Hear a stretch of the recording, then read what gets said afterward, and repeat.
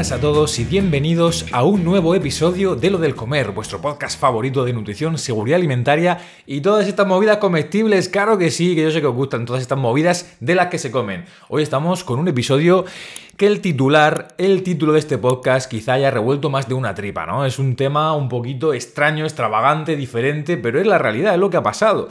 Entonces no podemos obviar la realidad. Si me han preguntado en un medio sobre este tema, yo he hecho unas declaraciones, pues tenemos que leerlas, ¿no?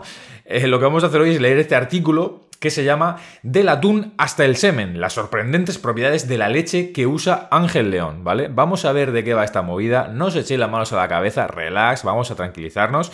Antes de nada, comentaros que estoy grabando con un plano diferente, ¿no? Para los que estéis viendo esto en YouTube, que ya sabéis que podéis ver mi lindo rostro, si ese es el adjetivo que más se le adapta, que tampoco lo sé, lo podéis ver en YouTube, escuchar en Apple Podcast, en Spotify, en iVoox, y estoy grabando con el móvil, estoy aquí improvisando un poquito eh, bueno, una nueva vista para que sea todo un poquito más dinámico, separar también los contenidos del podcast con lo que hacemos en Twitch, en YouTube, para bueno, tener aquí otro punto de vista, un point of view diferente. Pero bueno, para vosotros va a seguir siendo lo mismo de siempre, más allá de los rollos técnicos sobre los que yo siempre soy excesivamente pesado, eh, lo mismo de siempre. Pero bueno, para que lo sepáis, que si queréis verlo en YouTube y apoyar el contenido, dejar un buen like, suscribíos, ahí subimos mucho contenido, no solo el podcast, sino diferentes catas alimentarias, ya sabéis, seguro que estés al tanto de todo esto, así que voy a callarme un rato, vamos a ponernos con este tema. Os digo que es un tema que a mí también me inquieta bastante. Y vais a ver un poquito a continuación estas eh, declaraciones. Antes de nada, voy a comentar cómo fue esta colaboración, ¿no? Eh, ¿Cómo surgió? De repente yo estaba tranquilamente aquí trabajando en mi, en mi ordenador. Uy, perdón, voy a beber un traguito de agua. Mm. Voy a beber un traguito aquí de agua. Estaba yo aquí tranquilamente y de repente me llega un WhatsApp salvaje apareció de un compañero que me dijo, oye, tengo una periodista que me está preguntando por el semen de atún. Tú como tecnólogo alimentario, ¿qué sabes de eso? Yo le dije, what? What are you saying to me? Eh, sorry, I'm Murcian person, I don't know what are you doing, what are you speaking. Eh, no sé qué me estás contando. ¿Cómo que es eso el semen de atún? Me pasa la información y se ve que han hecho un queso camembert a partir de leche marina. O sea, el término leche es muy jugoso, es muy, muy apetitoso. Es otra vez adjetivos que no sé si se, corresponden a, este, a esta temática. Pero bueno, le dije, mira, dile a la periodista que sí, que no sé de qué me estás hablando, que creo que estáis locos, pero vamos a tope con ello, no tengo ni idea. Y bueno, me escribió con este tema. Se ve que el chef Ángel León es un señor que le gusta experimentar con cosas del mar, con movidas marinas y tal. Y claro, yo como tecnólogo alimentario, ¿qué pasó en mi cuerpo, en mi body? Me sentí sumamente atraído por esto. Y yo, ¿cómo? ¿Qué está pasando aquí? Voy a investigar este tema y voy a responder las dudas del medio. Y nada, la verdad que se ha quedado por aquí una colaboración muy maja. ¿Vale? Esto fue publicado en el medio consumidorglobal.com del que por supuesto tenéis en, en, las biografías, en las descripciones de YouTube de todos sitios, el link al artículo original para que le echéis un vistacillo, escrito por Nuria Meseguer, el 27 de noviembre de 2021, ¿vale? Y vamos a leerlo sin más dilación, porque si no me enrollo aquí, se nos hacen las tantas de la noche, de la tarde, de la mañana, y yo tengo que ir a comer también, ¿no? Espera. Perdón, es que está ladrando un perro en la calle digo, no vaya a ser que se cule por aquí el sonido. Yo estoy grabando esto para que os hagáis una idea, un 1 de diciembre a la 1 y 51 de la tarde. O sea que es una horita, vamos a ponernos en faena. No sé si me va a revolver esto el estómago va a hacer que deje de, de comer hoy, pero bueno, vamos allá, ¿no? Como os decía, de la tuna hasta el semen, las sorprendentes propiedades de la leche que usa Ángel León. ¿Vale? Eh, Lion Angel. El cocinero de Aponiente presentó en el Festival de Gastronomía de San Sebastián un queso hecho con líquido seminal de pez que los expertos analizan. Atención. Eh, os, vuelvo a repetir que esta, en esta ocasión no es un artículo que he escrito yo, ¿vale? Es de un medio en el que hay declaraciones mías, que ahora veréis un poquito del tema por dónde va. Rizar el rizo. La alta cocina se basa en eso, en probar, experimentar y llegar a más. San Sebastián Gastronómica es un exponente de esta osadía por romper los límites y las tradiciones vinculadas a la gastronomía. Durante tres días, centenares de chefs se juntan para compartir ideas y presentar sus nuevas propuestas. Muchos platos han salido de la capital donostiarra, pero solo uno ha acaparado todos los titulares. Y no es para menos, se trata del queso camembert elaborado con semen de atún. Oh, la última propuesta del chef Ángel León, el lácteo que no deja que no deja a nadie indiferente. Ahora veremos que eso de lácteo, pues bueno, lácteo precisamente no es. Antes de juzgar, hay que entender. Ángel León, oriundo de Jerez de la Frontera, Cádiz, es el propietario y jefe de cocina del restaurante Aponiente, en el puerto de Santa María, ganador de tres estrellas Michelin y tres soles Repsol. Y eso no le ha impedido, pues, fantasear y jugar un poquito, esto lo añado yo, ¿no? Con, con líquido seminal de pez. León tiene un objetivo muy marcado en su cocina, sustituir los alimentos terrestres para encontrar su versión marina. Por ello, hay quien lo apoda como el chef del mar. Me gusta ese mote. Su trabajo va más allá de los fogones. En su laboratorio, con su equipo de expertos, investiga todo lo que hay bajo las aguas con el máximo rigor científico. Nada se deja al azar, y lo que se sirve en sus platos está meticulosamente estudiado. Pero ¿cómo se hace un queso de semen? Ay, Dios mío, qué angustia. Por favor, Nuria, deja... Ay, ay, ay, qué asco. ¿Pero qué estoy haciendo yo con mi vida leyendo esto? Pero ¿cómo se hace un queso de semen? O sea, out of context, sacar esto de contexto. Y ante todo, ¿qué particularidades tiene esta leche marina? Voy a beber un poco de agua porque si no al final el semen se me va a atragantar a mí también. Ay, bueno. Por supuesto, aquí tenemos eh, un, un párrafo en el que aquí empiezo a aparecer yo. Eso es lo que nos interesa, al fin y al cabo. Encontrar algo blanco en el mar. Se llama el título, ¿no? Versionar el aperitivo de toda la vida no es nada fácil, y más si la premisa es que todos los ingredientes tienen que ser de origen marino. No obstante, Aponiente lo ha conseguido. Después de hallar la alternativa al jamón... Uy, eso me interesa, lo investigaremos. Las aceitunas ya tienen su queso marino, y encima es un camembert. Ahora veremos. Según explicó el reputado chef durante las jornadas gastronómicas vascas, él y su equipo estaban buscando un alimento blanco en el mar que fuera similar a la leche, pero esta búsqueda se les estaba resistiendo, demasiado precisa para poder improvisar. Por ello, optaron por probar con algo conocido, las huevas de leche del atún. A pesar del revuelo que genera este ingrediente, según señala Mario Sánchez, tecnólogo de los alimentos, que creo que soy yo, aquí son declaraciones mías, abrimos comillas, no es nada nuevo, se lleva mucho tiempo consumiendo la leche de distintos peces. Además, este, este espectro, iba a decir, porque pone experto y ni yo mismo me lo creo, ¿no? Este espectro, este experto sostiene que lecha es el nombre más acertado para todo aquello que tenga que ver con el fluido seminal de los peces. No obstante, entiende que llamarlo semen es muy jugoso. Eso como os he dicho antes, ¿no? Julia Mestre, exalumna del Basque Culinary Center, eh, se dirá Basque Culinary Center, entiendo, y cocinera en el restaurante Lave, coincide con Sánchez. Lo del semen puede sonar muy anecdótico, pero al final no hay que olvidar que es una especie de huevas. De hecho, en la actualidad, las huevas de atún rojo son un auténtico manjar. Su precio oscila según la temporada, no obstante, un kilo de estas puede alcanzar los 144 euros. Es decir, que vale, lo de llamarlos semen de atún, al final son huevas, que como ahora explicaremos a continuación, es un tipo de producto, subproducto derivado del mar que es habitual consumir y que no es nada nuevo. Lo que pasa es que hay un montón de titulares, si ponéis en Google lo del semen de queso hecho con semen de atún, pues obviamente eso choca mucho y, repugna a partes iguales, ¿no? ¿Cómo se extrae el semen de atún? El periódico Wall Street Journal incluyó a Poniente entre los 10 mejores restaurantes de Europa y el New York Times lo consideró uno de los 10 restaurantes del mundo por los que merece la pena tomar un avión. Muy interesante. Así que el proceso de elaboración del queso de esperma de atún. Ay, es las palabras esperma y semen me, tiran para atrás, ¿eh? ¿eh? Pero claro, hay que jugar con sinónimo, no vas a poner todo el rato lo mismo. El queso de esperma de atún no es nada que se haya dejado al azar. El esperma de atún se puede extraer en el momento de desove y masajeando la tripa del animal, explica Santiago Campillo, biólogo molecular y divulgador científico en Vector Divulgación. Aquí Santiago, en nuestro corazón siempre, gran murciano, gran colega del gremio. Una vez se tiene el líquido, el equipo de Aponiente inyecta la leche en un hongo de Camembert. Esto creo que está mal, o sea, es al revés, realmente. Lo termino de leer. Eh, el equipo de Aponiente inyecta la leche en un hongo de Camembert y trabaja con un, con un alga perdón, que coagula la mezcla, dando como resultado un queso con un marcado Sabor de salazón marino. Bueno, más allá de eso, lo que se hace es que se coge la leche, la leche esta, el líquido seminal del, atún, del pescado, y ahí se inyecta, eh, creo que aquí está dicho al se inyecta el mismo cultivo microbiano que es el que se utiliza en el, en el camembert, ese mismo hongo.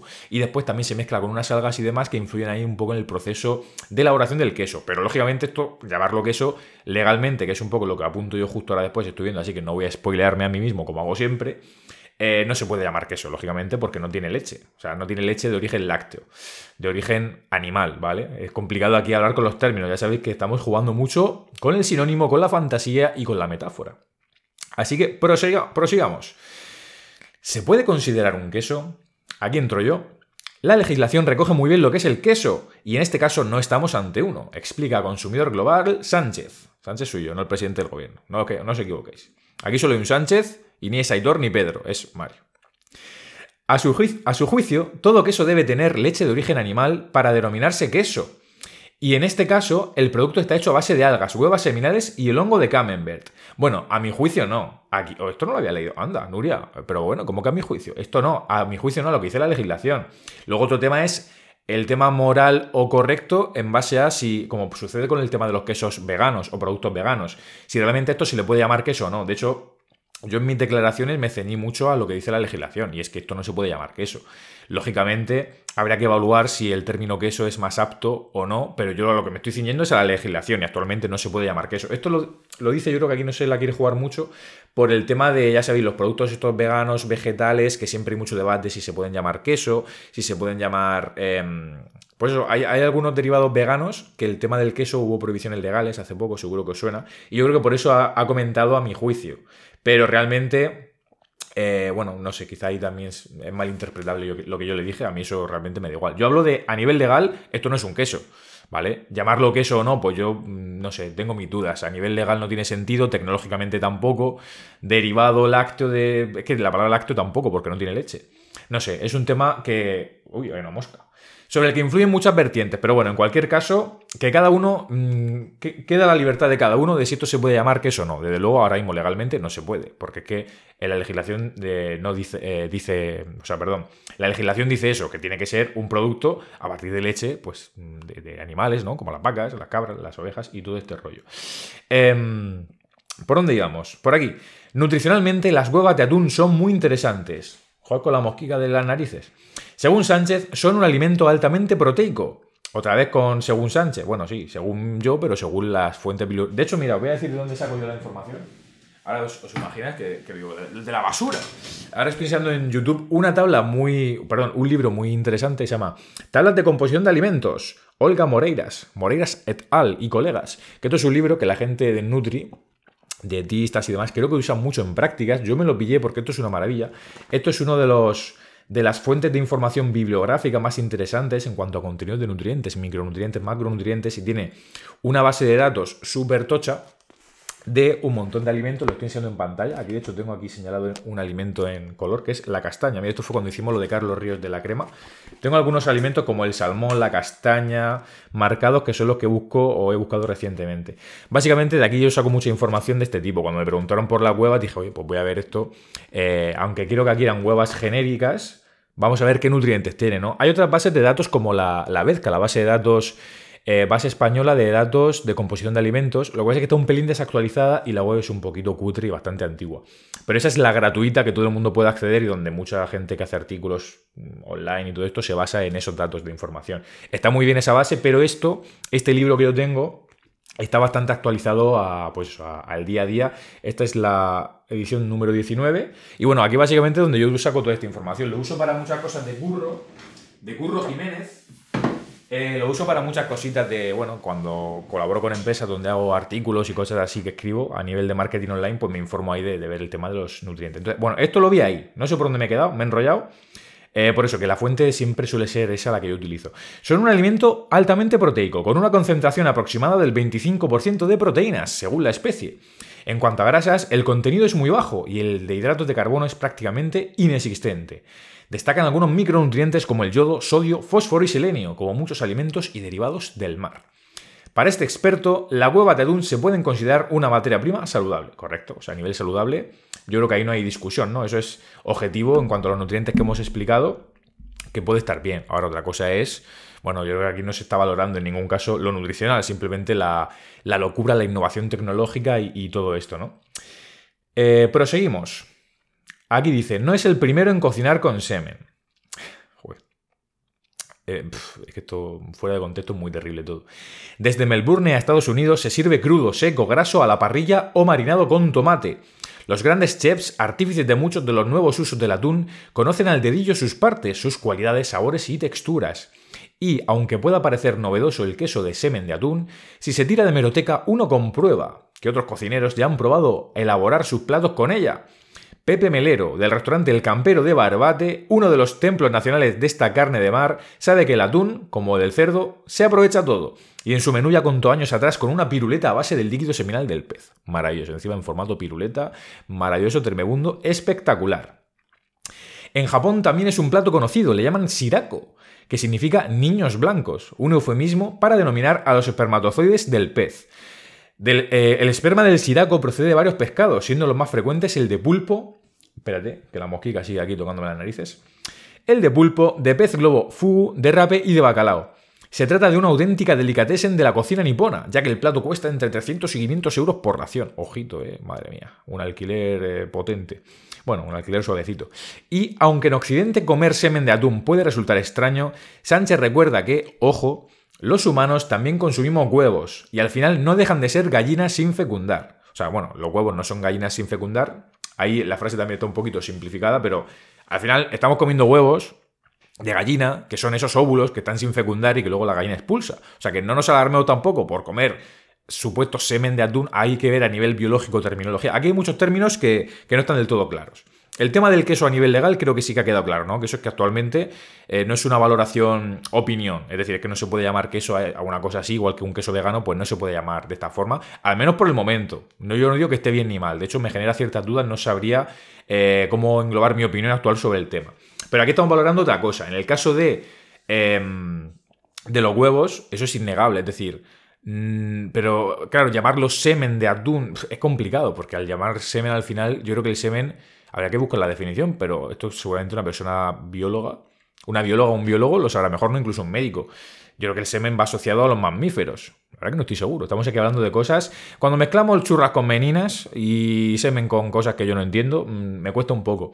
Pero al final los huevos, que es algo que iba, que me estoy enrollando, son esa parte, también son una parte derivada de fecundación y demás que no están fecundados lógicamente, pero entonces no deberíamos extrañarnos tanto, quiero decir, es algo bastante normal, solo que quizás es más Ahí entramos también en una valoración donde puede entrar un poco el machismo alimentario, por así decirlo, porque claro, no pasa nada por comernos los huevos o derivados de las de especies animales que son femeninos, pero ahora con el masculino, como es semen y como es tal, nos da más angustia. Es un poco extraño eso, ¿eh? Hay muchas cosas para valorar. Al final, con la tontería estamos aquí desenmascarando una trama moral, social, ecológica de, muchas capas para los cuales, las cuales yo no estoy preparado, lo voy a decir, la sinceridad, ¿no? Terminamos por aquí. Es necesario cuando se hace una investigación de estas magnitudes, se tiene que hacer un cómputo entre lo que uno gasta en producir versus el rendimiento y valor que puedas tener. Y en muchos aspectos de la cocina, el procedimiento tiene un coste mucho mayor del que realmente aporta. Considera la cocinera Mestre, quien añade que, en el caso del queso del semen, creo que este cómputo es desigual. No obstante, Mestra indica que, dado que este alimento lo presentó en un congreso, lo entiendo más, ya que al final en un evento así está forzado a presentar algo nuevo y rompedor. Es la dinámica. Y aquí sentencio yo Sánchez, tecnólogo de los alimentos, opina que la exploración de nuevos ingredientes en el mar me parece muy apasionante, aunque en este caso me intriga e inquieta a partes iguales, como ya os he dicho al principio. Aún así, el tecnólogo defiende el queso, ya que cualquier innovación tecnológica que se haga con los alimentos me parece interesante. Concluye. Y hasta aquí, yo doy un aplauso a Nuria y a Mario Sánchez, a este tal Sánchez, a Mestre, a todo el mundo que ha colaborado aquí. Un poco egocéntrico, como siempre. Me ha gustado mucho el artículo. Lo leí el otro día, por supuesto. En este caso sí que hice una prelectura porque el artículo me lo pasó y dije, joder, tengo muchas ganas de ver qué, ha puesto la periodista, cómo, ha puesto las declaraciones y demás, y está bastante guay. Bastante, bastante guay. Eh, me ha molado mucho. Lo que es el artículo es una cosa súper loca. Y cuando me pregunto dije, espérate, tengo que investigar un poco porque es que no tengo ni idea. Como que un queso hecho con semen de atún, que me estás container, ¿no? Y bueno, está salido esta, esta cosa. Espero no haber revuelto mucho las tripas. Pero básicamente, a modo de moraleja. Una innovación alimentaria tecnológica interesante, que a mucha gente le puede repugnar, es entendible, pero también pensar si lo contextualizamos y lo ponemos sobre la mesa, al final no es nada nuevo, nada novedoso, porque ya son derivados de animales o de peces o de productos del mar que ya consumimos de una forma u otra frecuentemente. Entonces tampoco que sea esto aquí el no va más. Pero claro, titular poner titulares semen, palabras como semen, em, de atún y demás, es un poco tal. Yo creo que lo más correcto, según vi, según investigué, es la palabra lecha, y también se puede hablar de líquido seminal quizá, pero bueno, ya en nivel terminología biológica no es mi especialidad. Y luego el tema del queso, como te decía, que esto sí me parece importante, porque hay mucha polémica con el tema de los quesos veganos. Mm, ya os digo que yo no tengo una opinión formada sobre si debería llamarse queso o no. Es verdad que nosotros, los tecnólogos en la carrera, nos inculcan mucho la legislación, lo que dice la legislación tiene que ser correcto y demás, y por eso aquí, desde el punto de vista legal, mi opinión, o, o, mejor dicho, no opinión, sino mis declaraciones no pueden ser otras que es que la ley no permite que esto se llame queso. Por eso podemos llamarlo queso a nivel coloquial para entendernos, porque se le ha inyectado el mismo hongo camembert que lleva el camembert, pero no es un queso, ¿vale? no creo que sea tan grave llamar o, debatir. Esto no es un queso, como en el caso de los de estos quesos veganos o productos que simulan quesos, porque en ese caso sí que cumple una función mucho más importante. De al final acercar alimentos parecidos a una población que ha decidido, por el motivo que sea, dejar de prescindir del consumo de alimentos de origen animal, que ya sabéis que yo voy a tope con eso. Siempre digo que no soy ni vegetariano ni vegano en el día a día, pero sí que promulgo bastante con esa idea y en cierta forma eh, sigo la, ideología un poquito, ¿vale? Me siento identificado, aunque sería, sería hipócrita decir que lo soy porque es mentira, porque como, como producto de origen animal, ¿no? Entonces, en ese sentido, tengo ahí un poco la doble, doble visión de no sé hasta qué punto el tema de llamar queso, no llamarlo, es un tema bastante polémico eh, y creo que este caso es algo muy diferente. Aquí estamos jugando la innovación tecnológica, o sea, que esto se llame queso o no se llame queso, al final es anecdótico, no es el foco del tema. Lo digo porque muchas empresas que hacen productos veganos sí que están ahí en esa lucha, ¿no? En esa lucha legal de que se reconozca que se pueda llamar queso, que al final usar la palabra queso no devalúa o no no hace que el resto de alimentos que sigan sean queso de verdad. O sea, la gente sabe distinguir lo que es un queso y lo que no. Pero bueno, ahí entramos en otras cuestiones. No me quiero derivar, simplemente dejar ese matiz hecho, porque aquí pues eh, sí que la periodista decía que según yo considero esto no se puede llamar queso. Y digo, no, a ver, no es lo que yo considere, no estamos hablando de juicio, estamos hablando de lo que dice la ley. Importante esa parte, que es en la primera lectura se me escapó. Y bueno, gente, dicho esto, llevamos aquí a veintipico minutos. Esto es una absoluta fantasía en este nuevo formato. Aquí una invitada, eh, en este caso, lo, del comer, la mosca gojonera que hemos tenido aquí, ¿no? Eh, bueno, un invitado que no, no va a dar para hacer una charla manipulada. acabo de publicar, o sea, mientras estoy grabando esto, hace casos minutos, más o menos una horita o así, ha sido cuando he publicado el anterior, el anterior podcast, que vosotros, si estáis escuchando este, ya podéis escucharlo todo del tirón, pero tiene una separación temporal, ¿no?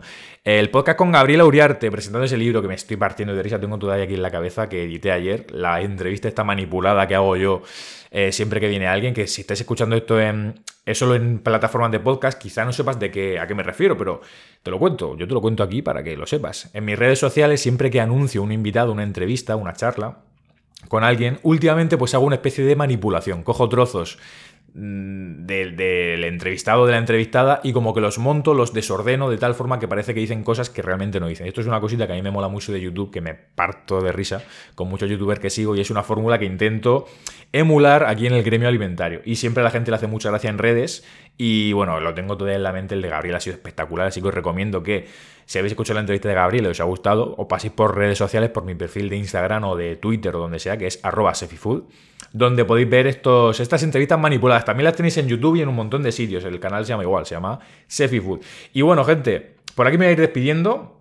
Deciros, aunque todavía queda un podcast más, que a lo mejor no sé si me caliento a lo mejor y lo grabo ahora del tirón en el mismo día, esto es un absoluto sin sentido, o lo grabaré la semana que viene. Pero en Navidad, ¿vale? Las dos últimas semanitas de diciembre sí que va a haber un parón, ¿vale? Para descansar, para tomar fuerzas y sobre todo porque en Navidad pasa una cosa muy bonita, que es el villancico que yo hago tradicionalmente cada año y me gustaría enfocarme en eso este año a tope, aparte de tomar un poquito de descanso.